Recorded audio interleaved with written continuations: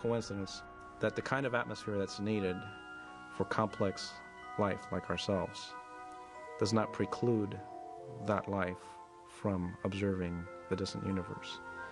It's a surprise. It's something that you wouldn't expect just chance to produce.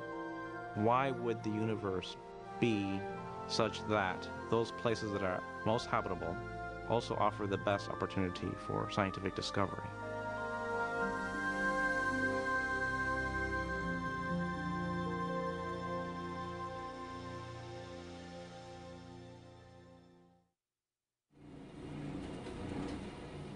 In 1997, Guillermo Gonzalez began a study of the Earth's specific location within the Milky Way galaxy.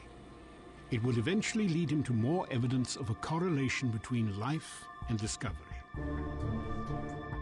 Just as our location in the solar system is optimized for habitability, so is our location in the galaxy. We inhabit a spiral galaxy, which means it's highly flattened, it has a spherical bulge in the center, and it has spiral arms. And we live about halfway between the center of the galaxy and the edge. Working closely with astrobiologists Peter Ward and Donald Brownlee, Gonzalez compared our position in the Milky Way to other regions within an often hostile galaxy.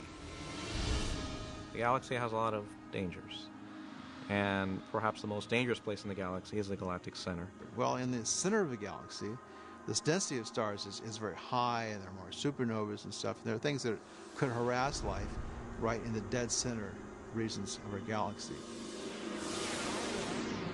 You also have the giant black hole at the very center of the galaxy. And if it were to have a close encounter with a star passing near it, it would rip it to shreds and form an accretion disk around it and emit lots of radiation, particle radiation and electromagnetic radiation, gamma rays, X rays. While a black hole, exploding stars, and deadly radiation would make complex life virtually impossible near the galactic core, the outer edge of the Milky Way poses other challenges to habitability. In the outer regions, uh, the situation is much more subtle. We live on a planet made out of iron, magnesium, and silicon, and oxygen. If we went in the more distant regions of our galaxy, out towards the outer, outer edge, the abundances of these elements are lower. There probably aren't enough heavy elements to build Earth sized planets that can support life. So there's a happy median between the dangerous galactic center and the outer edge of the galaxy. Gonzalez, Brownlee, and Ward labeled this region, where complex life is possible within the Milky Way, the galactic habitable zone. Their theory was first published in 2001 and has since received growing acceptance among astrobiologists. There's a lot more research that needs to be done to determine just how wide the habitable zone is. But I think there's general agreement that yes, there are definitely places in the galaxy that you cannot have civilizations because they're very dangerous. And there are places where you just have a very low abundance of heavy elements. While these obstacles to habitability are minimized far from the core and edge of the Milky Way, Gonzalez has also identified large areas within the galactic habitable zone itself, which are less hospitable to complex life. Even within the habitable zone in the galaxy, it's broken by the spiral arms, which are dangerous places. That's where most of the supernovae go off in the galaxy. That's where uh, the star formation is taking place. We don't want to be too close to a spiral arm. We, we want to be outside the spiral arm at about the right region of the galaxy. It appears this is precisely where the Earth is located, in the relatively safe and uncrowded region between the Sagittarius and Perseus arms of the Milky Way. Location is everything, and so we occupy that special place in the galaxy where habitability is optimized, threats are minimized, and we have enough building blocks to build an Earth. Guillermo Gonzalez and Jay Richards have conducted research on another facet of the galactic habitable zone. They now argue that the Earth is also located in the best setting within our galaxy for astronomical research. As it turns out, our position in the universe is not only critical for life, but it's also surprisingly important for making scientific discoveries. We're located near the midplane of the galaxy, a very highly flattened galaxy, between spiral arms in a region with very low dust extinction. While we are in the plane of the galaxy, that does not obscure a large part of the sky, so we can have very clear views. For more than a century, this nearly ideal platform of observation has enabled astronomers to study the structure of the Milky Way. Looking toward the constellation Sagittarius on a clear night, for example, we see that the stars in our galaxy are not uniformly distributed across the sky.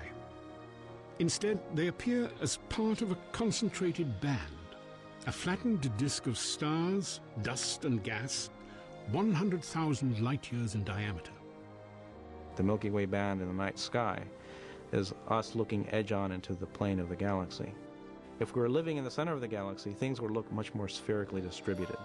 And so it would be very hard to distinguish things that are inside the galaxy from things that are outside. And it's also very dusty, much dustier towards the galactic center than it is in our region. And so the views of the distant universe will be much more difficult to obtain, they'll be much more compromised.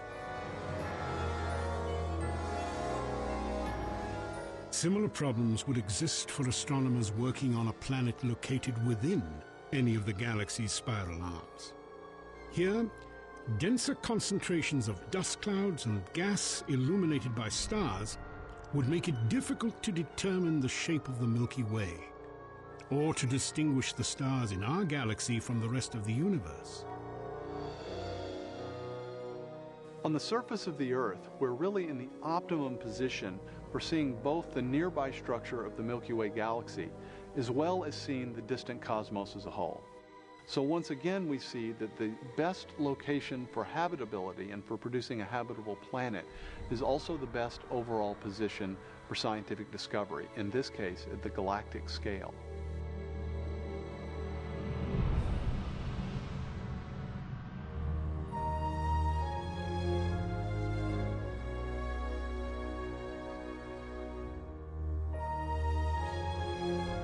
For centuries, the fact that we can discover things about the universe has really been something of a mystery. Why would beings like ourselves be able to discover a universe like this? Why is what we think about the universe, why would it correspond to the way things really are?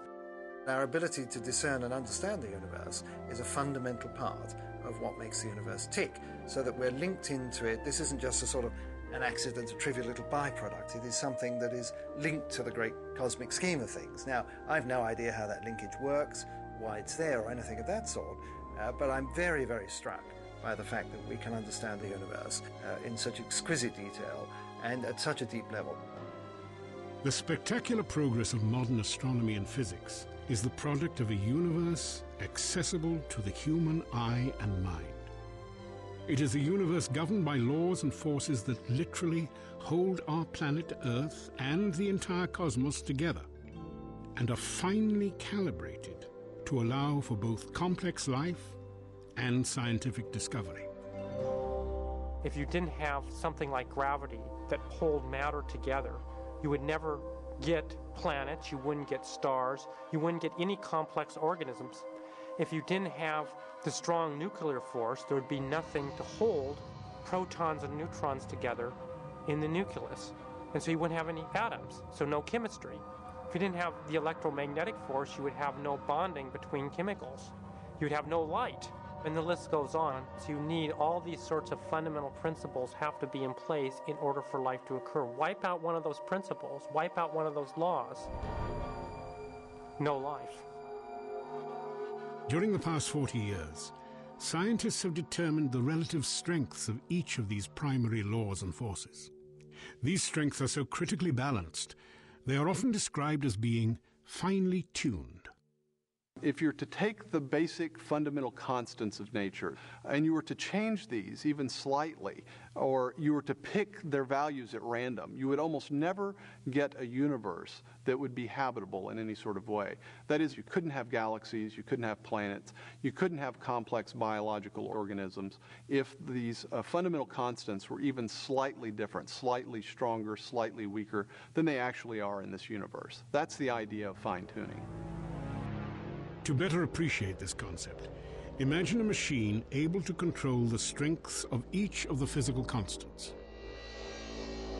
If you change